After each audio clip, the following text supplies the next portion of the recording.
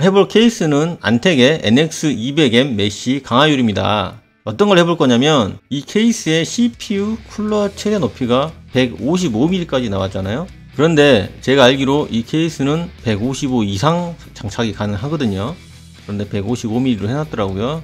이게 왜 문제가 되냐면 제가 자주 사용하는 이 팔라딘 같은 경우는 157mm예요. 그래서 어 나는 팔라딘을 쓰고 싶고 NX200을 쓰고 싶은데 케이스가 안 맞네. 그러면 다른 케이스를 사겠죠. 쿨러를 바꾸는 경우도 있지만 155로 해버리면 조금 제약사항이 있어요. 쿨러를 다는데 그래서 제가 이건 확인을 한번 해봤어요. 왜냐면 제가 이 케이스를 또 자주 사용할 것 같으니까 160 정도는 돼야지 보급형 공랭 쿨러를 제약 없이 달 수가 있거든요. 이 R 사이도 157이잖아요. 겟맥스 400도 157, 존스보 CR1000은 158, 이렇게 155mm가 대부분 넘거든요. 이건 좀 문제가 있습니다. 155mm로 표기하는 거는. 그래서 제가 직접 확인해 보려고 합니다. 이게 NX200 케이스인데요. 한번 살펴보겠습니다. 전면은 플라스틱 같고요. 여기는 구멍이 있는 게 아니고 이렇게 손잡이가 있네요. 플라스틱 맞아요. 어, 나쁘지 않습니다. 이 재질이 싼티 안 나요. 무광 처리됐고요. 먼지 필터는 당연히 없습니다. 그리고 전면에 140mm 두 개 또는 120mm 두 개 팬을 장착할 수가 있습니다. 기본으로는 달려있지 않습니다. 선택사항이겠죠. 측면은 슬라이딩 도어. 이렇게 손잡이도 이렇게 있고요. 저는 이 손잡이가 좋더라고요. 반대편은 철판으로 되어 있고요. 철판도 2만원짜리 치고는 괜찮습니다. 아, 이 케이스는 MATS이기 때문에 가치가 있는 겁니다. 하드 베이도 있고요. SSD 장착 부위도 있고요. 선 정리하기도 굉장히 편하게 되어 있습니다. 공간이 넓기 때문에 상단에 120mm 펜 두 개를 달 수 있게 타공도 되어 있고요. 그리고 마음에 드는 건 후면팬이 120mm고 연결 방식이 몰렉스가 아니고 메인보드에 연결해서 DC 모드로 팬 속도 조절 가능한 3핀으로 되어 있습니다.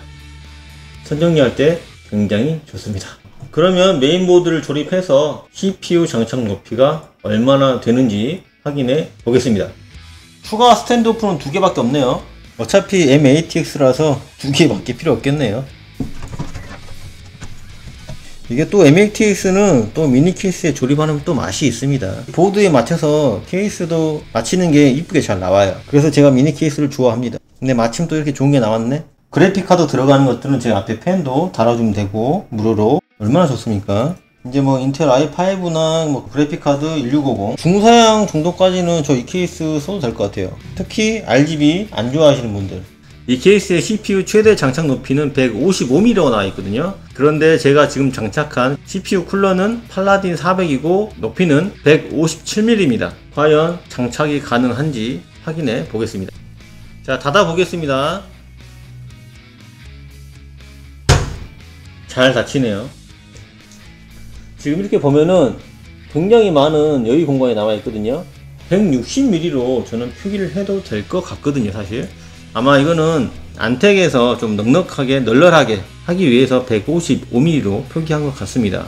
안텍 NX200M 케이스 구입하실 분들은 참고하시기 바랍니다.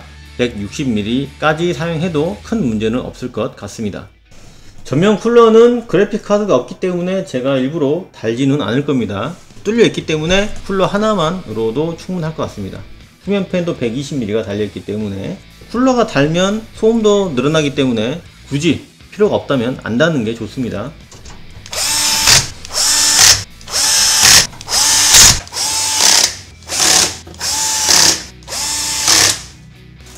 아 주식용으로 완전 좋은데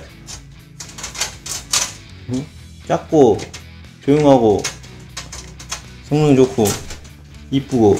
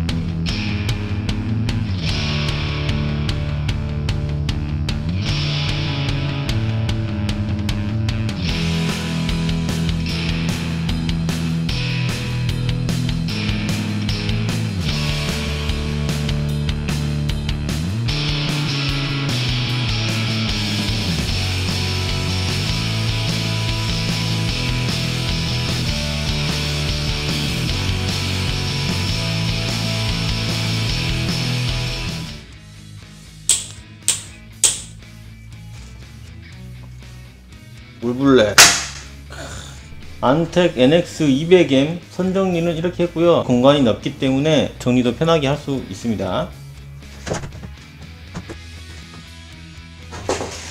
살짝 뜨네 여기가.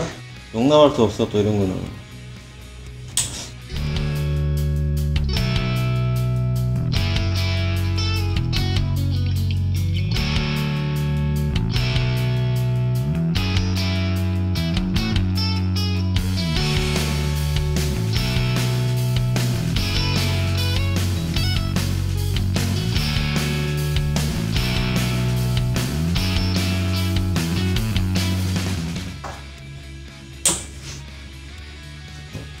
선정리는 이런 식으로 됐습니다.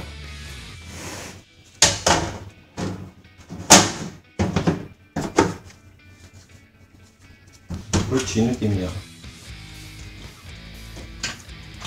조립하기 편하고 선정량이 편하고 어, 디자인 깔끔하고 가격 좋고 아, 정말 좋은 케이스인 것 같습니다